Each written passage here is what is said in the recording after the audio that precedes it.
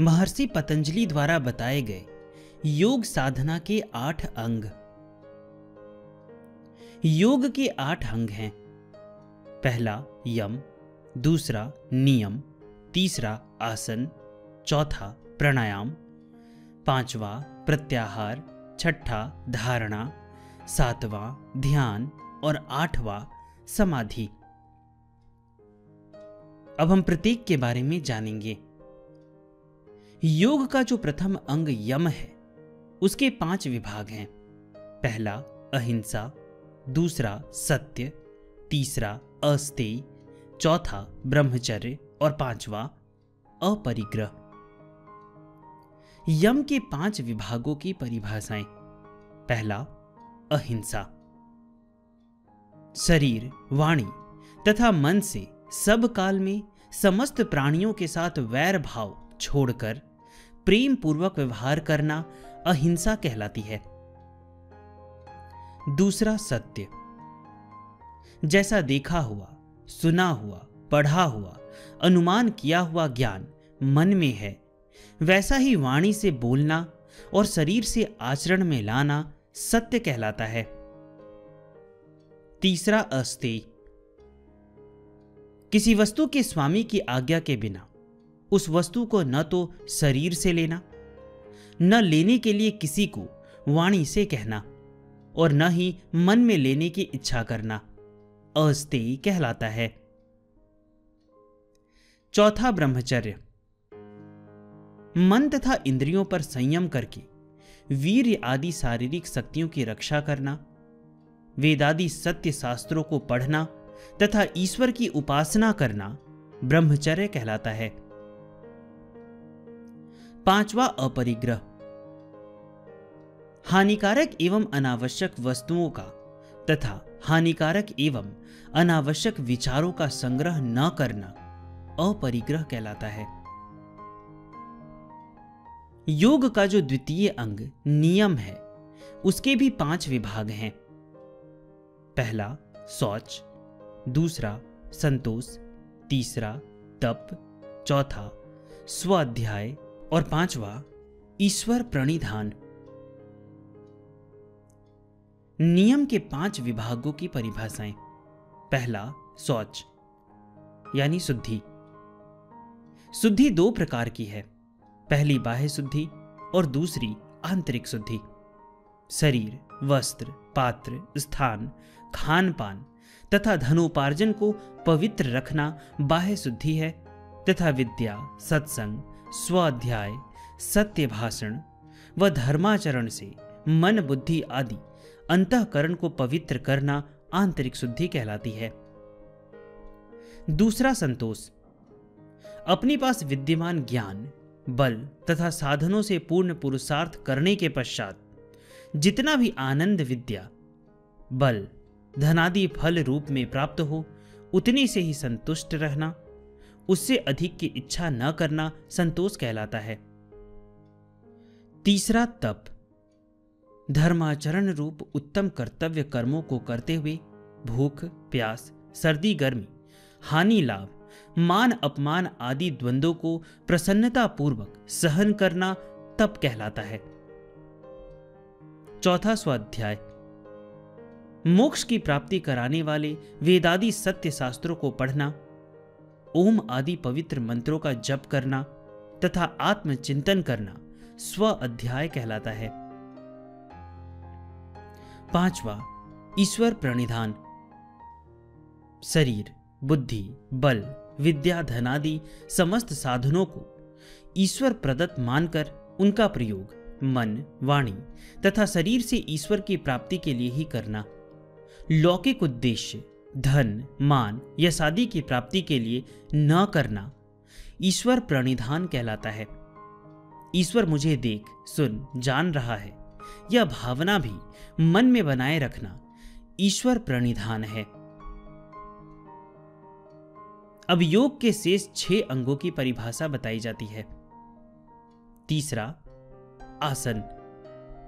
ईश्वर के ध्यान के लिए जिस स्थिति में सुखपूर्वक स्थिर होकर बैठा जाए, उस स्थिति का नाम आसन है, जैसे पद्मासन, सिद्धासन, सुखासन आदि।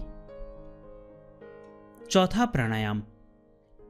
किसी आसन पर स्थिरता पूर्वक बैठने के पश्चात, मन की चंचलता को रोकने के लिए, श्वास प्रश्वास की गति को रोकने, स्वरूप जो क्रिया की जाती है, उस क्रिया का नाम प्राणायाम है। पांचवा प्रत्याहार। मन के रुक जाने पर नेत्रादि इंद्रियों का अपने अपने रूपादि विषयों के साथ संबंध नहीं रहता। अर्थात इंद्रियाँ शांत होकर अपना कार्य बंद कर देती है। इस स्थिति का नाम प्रत्याहार है। छठा धारणा। ईश्वर का ध्यान करने के लिए आँख बंद करके मन को मस्तक, भ्रूमध्य, नासिका कंठ, हृदय नाभि आदि किसी एक स्थान पर स्थिर करने या रोकने का नाम धारणा है। सातवां ध्यान, किसी एक स्थान पर मन को स्थिर कर देने के पश्चात वेद मंत्र या अन्य शब्दों के माध्यम से ईश्वर को प्राप्त करने, यानी जानने, अनुभव करने के लिए ईश्वर के गुण कर्म स्वभाव का निरंतर चिंतन करना, किंतु बीच में किसी अन्य वस्तु या विषय का स्मरण न करना ध्यान कहलाता है। आठवां समाधि। शब्द प्रमाण तथा अनुमान प्रमाण के माध्यम से ईश्वर के गुण कर्म स्वभाव का निरंतर चिंतन करते रहने पर जब ईश्वर का प्रत्यक्ष होता है, अर्थात ईश्वर के आनंद में साधक निमग्न हो जाता है, तब उस अवस्था को समाधि कहते हैं। योग के आठ अंगों का फल। अब क्रमशः यम नियम आदि योग के आठ अंगों का फल क्या होता है? यह सुनते हैं। सर्वप्रथम यमों का फल सुनते हैं। पहला, अहिंसा। अहिंसा धर्म का पालन करने वाले व्यक्ति के मन से समस्त प्राणियों के प्रति वैर भाव छूट जाता है तथा उस अहिंसक की सत्संग एवं उपदेशानुसार, आचरण करने से अन्य व्यक्तियों का भी अपनी अपनी योग्यता अनुसार वैर भाव छूट जाता है।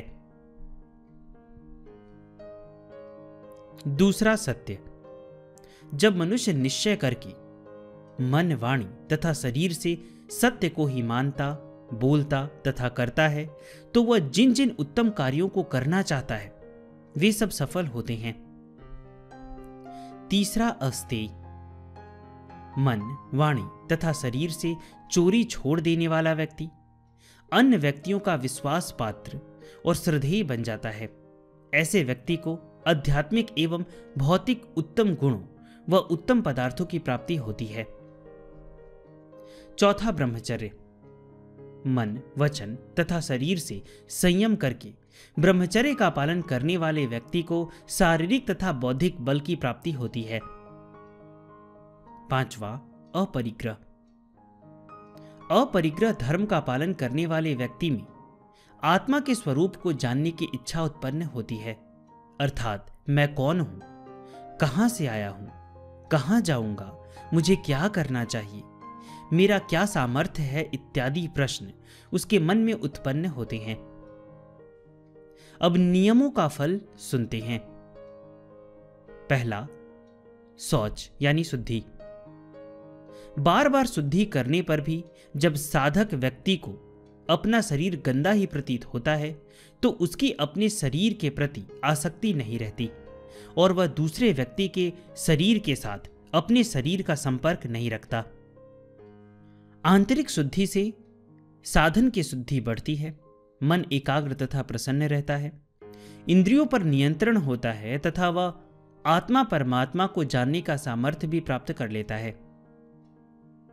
दूसरा संतोष।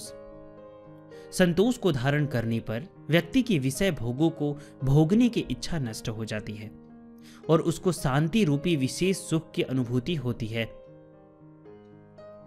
तीसरा तप।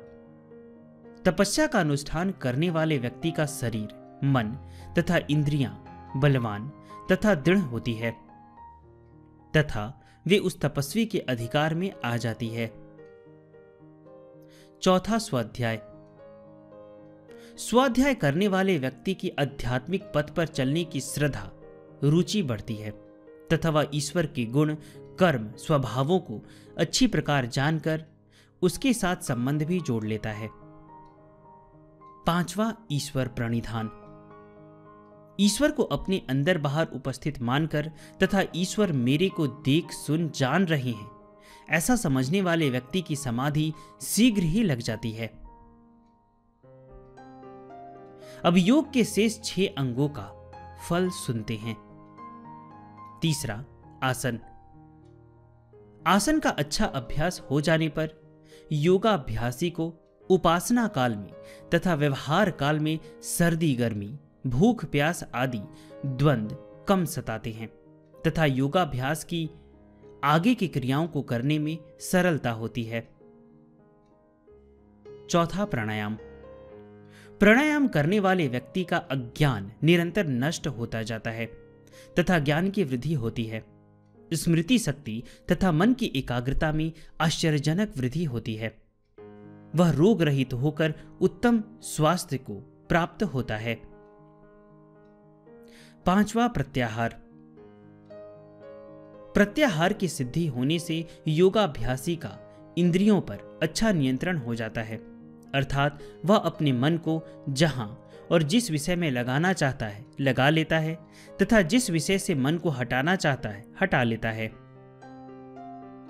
छठा धारणा, मन को एक ही स्थान पर स्थिर करने के अभ्यास से ईश्वर विषयक गुण कर्म स्वभावों का चिंतन करने से ध्यान में दृढ़ता आती है। अर्थात ईश्वर विषयक ध्यान शीघ्र नहीं टूटता। यदि टूट भी जाए तो दोबारा सरलतापूर्वक किया जा सकता है। सातवां ध्यान। ध्यान का निरंतर अभ्यास करते रहने से समाधि की प्राप्ति होती है, तथा उपासक व्यवहार संबंधी समस्त कार्यों को दृढ़तापूर्वक, सरलता से संपन्न कर लेता है। आठवां समाधि।